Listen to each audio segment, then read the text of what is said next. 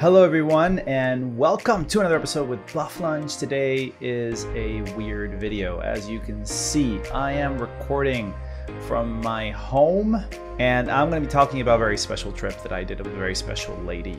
We're going to be talking about food, of course, because food is really important to us in the Bufflunch channel. But more importantly, we're going to be talking about the Camino of Santiago, which a lot of you have heard of, I hope. And if you haven't, the Camino de Santiago is a trail walk, a very long, long, long trail that you can start from all the way from France and it goes all the way to Santiago de Compostela in Galicia, that is northwest of Spain. Now, this trail is normally about 40 day hike. We did a 12 day thing. It was quite amazing. And what I hope to do is also debunk some of the stuff that a lot of people talk about this thing. A lot of people say that the Camino Santiago is very bad for food. Now here in Bufflunch, we love food, as you probably know already from all of our videos. And I want to tell you all that actually our trip had all kinds of food.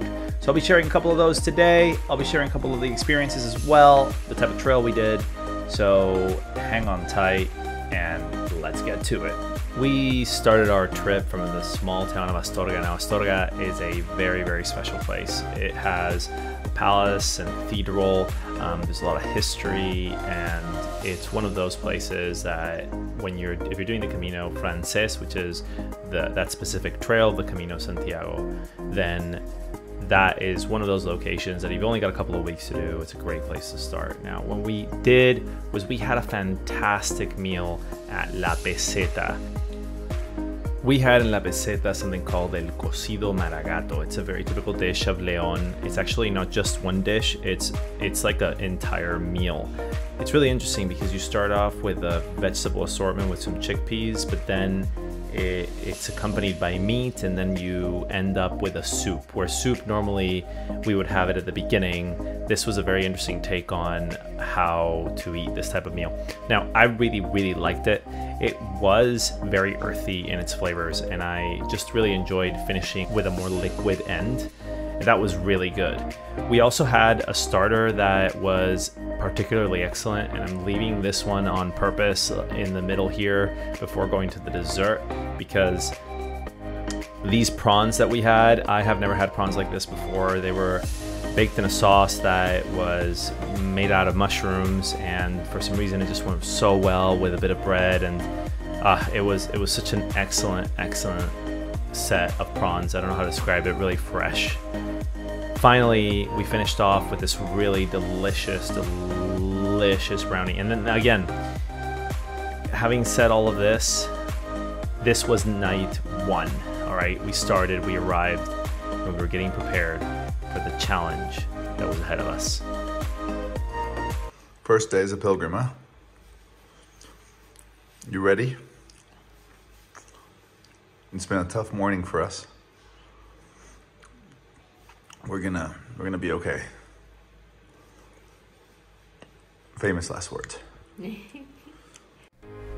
Now, no one can really prepare you for what you face in this trip.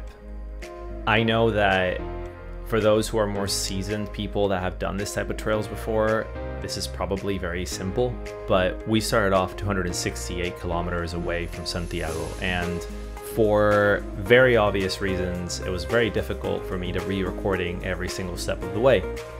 But the first couple of days were brutal, okay? After um, arriving at the first day to our destination, which was Foncebadón, I had no energy whatsoever to record anything. And the following day, we were kind of trying to plow through and soldier on. We were faced with a really, really steep downhill, and this really, really steep downhill ended us in Molinaseca, where consequently we had some really delicious food at an inn after our knees were absolutely destroyed. The next couple of days become a bit of a blur, but we ended up in this really, really pretty village called O Cebreiro. We met some really great people along the way, made some nice friends, had some nice drinks. But we also had a great meal. O Cebreiro is really well known for this cheese. That's this really impossibly soft cheese that I show you on screen right now. Um, we had a really great meal here as well with some octopus and stew and it just all came together really nicely. I had also took the chance to have a massive steak. Now for scale, this is what's called a chuletón. It is served all over Spain. I absolutely love it. It is akin to essentially a ribeye or tomahawk or something like that.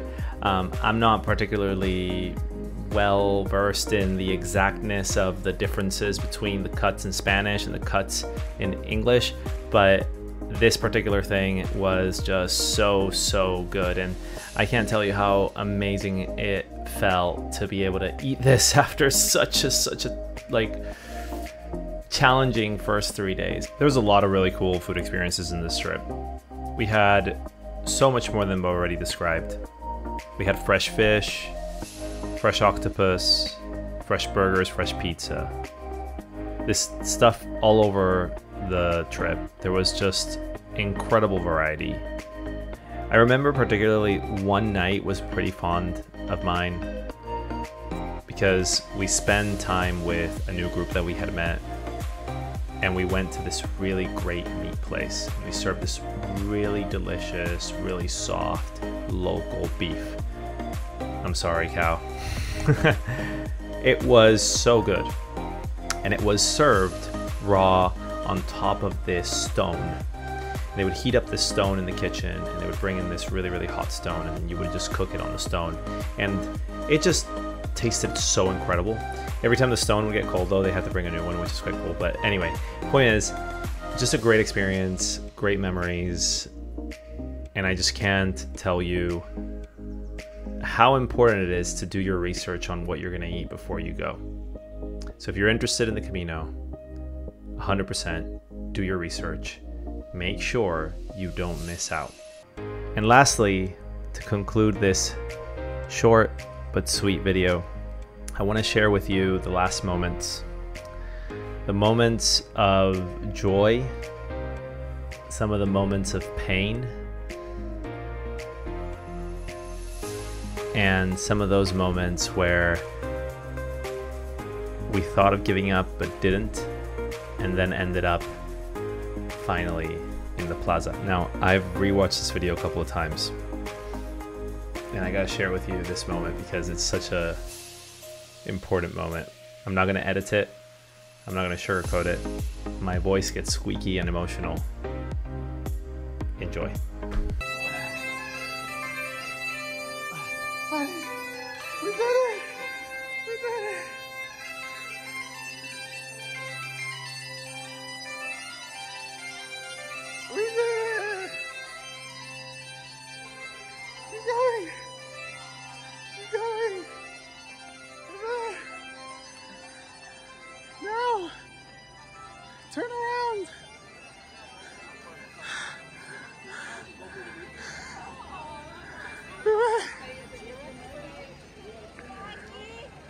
This is the Santiago Cathedral.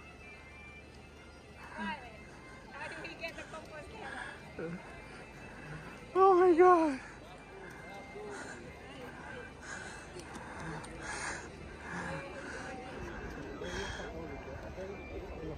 And with that, guys, that concludes another episode of Bufflunch.